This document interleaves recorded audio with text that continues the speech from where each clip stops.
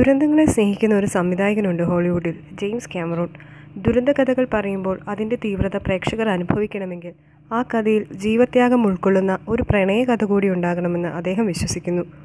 ആദ്യ യാത്രയിൽ മഞ്ഞുമലയിൽ ഇടിച്ചു തകർന്ന ആർ എം എസ് ടൈറ്റാനിക് എന്ന ആഡംബര നൗകയുടെ കഥയിൽ നിന്ന് ജാക്കിന്റെയും റോസിന്റെയും പ്രണയ കഥ പറഞ്ഞ ടൈറ്റാനിക് എന്ന സിനിമയുണ്ടാകുന്നത് ആ വിശ്വാസത്തിൽ നിന്നാണ്.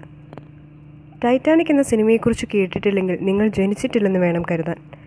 സിനിമ പുറത്തിറങ്ങിയതിന്റെ ഇരുപതാം വാർഷിക ദിനത്തിൽ അമേരിക്കയിലെ ഒരു പ്രശസ്ത പത്രത്തിൽ ടൈറ്റാനിക്കിനെ കുറിച്ച് എഴുതിയ വാക്കുകളാണിത്. ഈ ഐതിഹാസിക കാൽപ്പനിക ദുരന്ത പ്രണയകഥ എഴുതിയതും സംവിധാനം ചെയ്തതും എഡിറ്റ് ചെയ്തതും നിർമ്മാണത്തിൽ പങ്കാളിയായതുമെല്ലാം ഹോളിവുഡിലെ മെഡാസായ ജെയിംസ് ക്യാമറോണാണ്. ആയിരത്തി തൊള്ളായിരത്തി തൊണ്ണൂറ്റിയേഴ് ഡിസംബറിൽ പ്രദർശനത്തിനെത്തിയ ചിത്രത്തിന്റെ നിർമ്മാണ ചെലവ് ഇരുന്നൂറ് മില്യൺ അമേരിക്കൻ ഡോളറായിരുന്നു. അന്നുവരെയുള്ള സിനിമാ ചരിത്രത്തിലെ ഏറ്റവും ഉയർന്ന മുതൽ മുടക്ക് ഏകദേശം മൂന്ന് മില്യൺ അമേരിക്കൻ ഡോളർ ചിത്രം ബോക്സ് ഓഫീസിൽ സ്വന്തമാക്കി. രണ്ടായിരത്തി പത്തിൽ ജെയിംസ് ക്യാമറോണിന്റെ തന്നെ അവതാർ എന്ന ചിത്രം പുറത്തിറങ്ങുന്നതുവരെ ഏറ്റവും അധികം വരുമാനം നേടിയ സിനിമ എന്ന റെക്കോർഡ് ടൈറ്റാനിക്കിനായിരുന്നു.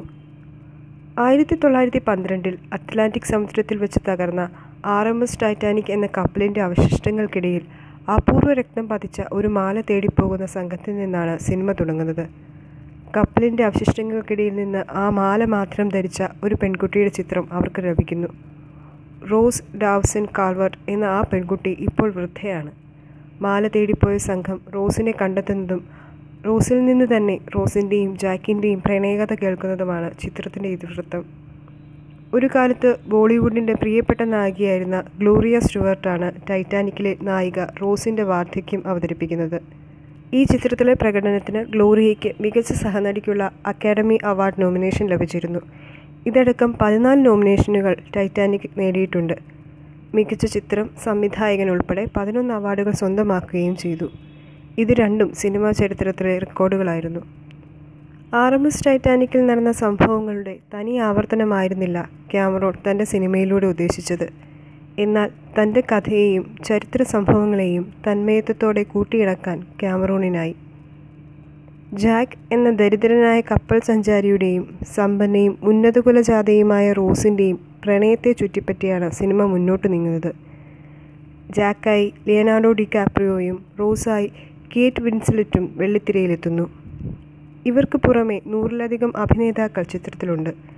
ഇവരോരോരുത്തരും തങ്ങളുടെ വേഷങ്ങൾ നൂറ് ശതമാനം ആത്മാർത്ഥതയോടെ ചെയ്തുവെന്ന് നിസ്സംശയം പറയാം.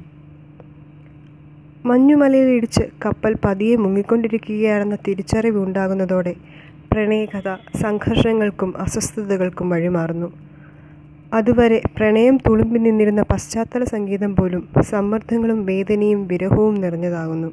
ജെയിംസ് ഹോണർ കമ്പോസ് ചെയ്ത my heart will go on എന്ന ഗാനത്തിന്റെ ഓർക്കസ്ട്രൽ വേഷൻ പ്രേക്ഷകരിൽ ഉണർത്തുന്ന അനുഭൂതി വാക്കുകൾക്കപ്പുറമാണ്.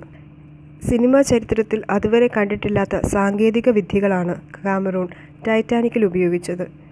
ടൈറ്റാനിക്കിനെ ഒരു അനശ്വര സിനിമയാക്കാൻ അവ വഹിച്ച പങ്ക് ചെറുതല്ല. നൂറ്റി തൊണ്ണൂറ്റഞ്ച് മിനിറ്റാണ് ചിത്രത്തിന്റെ ദൈർഘ്യം. അതല്പം കൂടിപ്പോയില്ലേ എന്ന് തോന്നാം.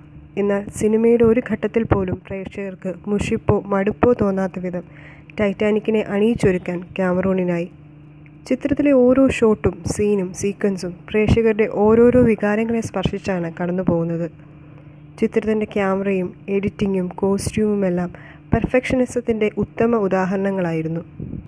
ഒരു ദുരന്ത പ്രണയ കഥയിലെ നായികാ നായകന്മാരായി റോസിനെയും ജാക്കിനെയും അവസാനിപ്പിക്കാത്തിടത്താണ് ടൈറ്റാനിക്കിന്റെ വിജയം. റോസിന്റെ സ്വപ്നത്തിലോ അതോ മരണാനന്തര ജീവിതത്തിലോ എന്ന് വ്യക്തമാക്കാതെ സിനിമയുടെ അവസാന സീനിൽ റോസിനെ ജാക്കിന്റെ അടുത്തെത്തിക്കുമ്പോൾ എല്ലാം ശുഭമായി അവസാനിക്കണം എന്ന മനുഷ്യ സഹജമായ ആഗ്രഹമാണ് ക്യാമറൂൺ സഫലീകരിക്കുന്നത്. ഒരു പക്ഷേ ഈ ശുഭസൂചനയാകാം വീണ്ടും വീണ്ടും ഈ സിനിമ കാണാൻ ആരാധകരെ പ്രേരിപ്പിക്കുന്നത്.